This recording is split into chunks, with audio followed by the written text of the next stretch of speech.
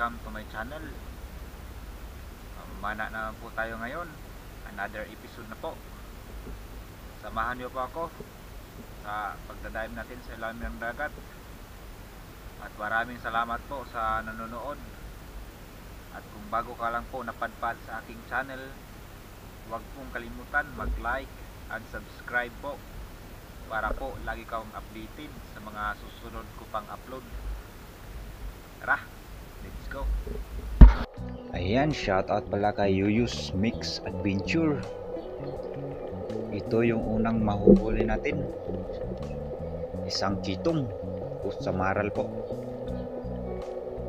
Huli ka yung sa yung kitong kapana. Ito yung unang huli natin. At shoutout din sa iyo, Pultas Adventure. Thank you po sa panonood. At also po kay Father and Son Fishing TV na palaging nanonood sa ating mga upload. Thank you po. Ito may nakita na naman tayong danggit o bawis o tawagin dito sa amin. Yun, sapul. May kalabara na ito, kapana. Ito, madami talagang danggit o bawis dito sa spot na to. Sa may buhanginan. Yun no, medyo malabo yung tubig. Pero pagdating natin sa ilalim, doon medyo malinaw. Yun no, may naispatan na naman tayong danggit. Yun no, medyo mailap. Yun lang, hindi natin tinamaan. Yun na, tumakas na yung danggit.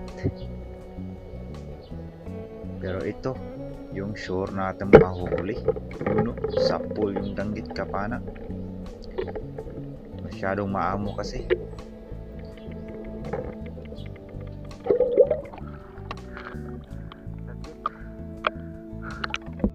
Aba, nandito lang pala kayong mga danggit kayo. Yun no, sa pool na naman yung danggit kapana. Yun, dalawa na yung nakatuhog sa pana natin. Nandito lang pala sila sa medyo may malalim na spot. Tatong di pa o apat na di pa na ata ito. Yun pa, may isda pa. Huli kang isda ka. Yun, sampul yung isda ka pa na. Ito yung pangatlong matutuhog natin. Hindi pa natin tinatanggal. Kasi kaya pa to. Ayun no. Meron tayo nakita na namang danggit. Yun no, kitang kita. Aba, meron pa palang dalawang nagtatago doon no. Yun. Yun lang. Di natin tinamaan. Ayun tuloy, tumakas na yung tatlo. Pero okay lang, meron na naman tayong nahuli. At shoutout pala kay Dennis De La Cruz from Naik, Cavite. Thank you po. Kay Jonathan Maghuyop. Thank you. Ito yung papanain natin. Isang timbungan o tawag ng iba is manitis. Sapul kapana. Masarap to. Pwedeng kilawin. Ang sarap nito. Ayun, meron na naman tayong nakita danggit. At nakahiga na lang po sa buhanginan. Yun, sa pool. Yun, dami talagang danggit dito sa spot na ito.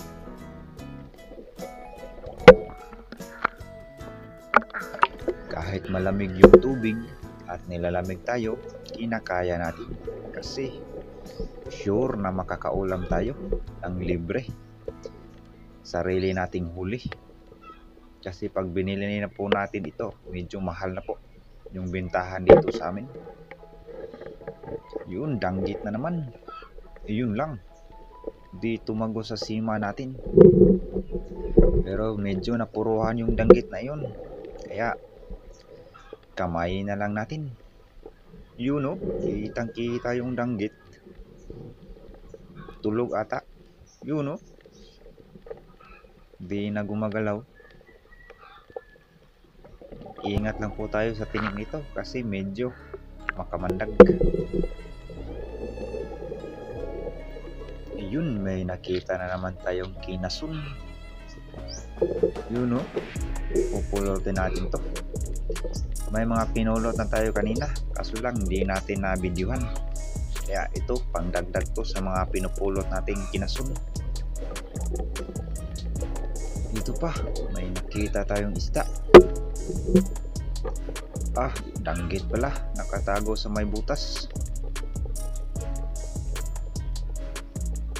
Diyan ka lang pala nagtatago. Huli ka. Yun, sapul yung danggit kapana. Medyo nagtatago po. Yun, danggit. Libre na to, pang ulam. Aba, meron na naman tayo nakitang isda na naman ito. Ano kayang isda to? Ah, parang katambak. Yun. Hindi pa tumagos yung sima natin, pero medyo napuruhan po. Kaya, huhulihin na lang natin ito. Yun. May sea urchins pa o tujum kung tawagin dito sa amin yun. No? Napuruhan. Hindi na ata gumagalaw. Kaya takutin na lang natin yung katambak. Yun. Ito na yung katambak kapana. Masarap to. Pang sabaw. Yun no. Katambak po. Yun no. Meron tayo ng ispatan. Medyo madalang tong kanto dito sa amin kasi hindi pa kasi nila panahon isang blue crabs yun no nagtago na kaya dinakot na natin kinamay na natin yun no? Isang blue crabs o lambay kung tawagin dito sa amin. Lambay. Aba meron na naman tayo nakitang kinasun. Ito pangdagdag sa mga na pinupulot natin kanina. Yun masarap to sa mga mahilig kumain ito. Ito yung masarap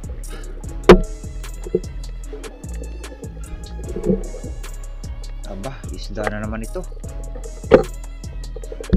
Yun no? Yung paborito natin. Tagbago. Kung tawagin dito sa amin. Lahi rin ito ng rabbit fish. Yun no? Ito yung tagbago na mahilig magtago. Mahilig magtago sa mga butas. Yan o tagbago aba meron tayong nakitang eel. Pero madalang lang tayong kumuha nito kasi di rin kasi ako kumakain ito. Pero masarap to. Paksiw. Paksiw na eel. Yun no pang paksiw po medyo matapang tong isang to. Pero di natin huhulihin. Ito may nakita tayong langgit. Yun no? Kamay natin. Aba isa pala itong saang yung katabi niya. Kaya yung saang na lang yung punulot natin. Tumakas na tuloy yung danggit pero okay lang. Saang pala yun kaya pinulot na natin. Ito isang isda na naman ito. Isang pugapo kung tawagin dito sa amin. O grouper yan. Pugapo. Huli ka yun maganda yung tama niya kapana. Ito yung masarap sa tinulang isda. Yun masarap to pang tinula isang pugapo. O grouper. Yun may naispatan tayong lahi ng maming o kung tawagin dito sa amin lupit. Yun no? Triple tail wrasse kung tawagin sa English. Pero pabayaan lang natin. Hanggang dito na lang po. Hanggang sa susunod nating pagkikita. Kapana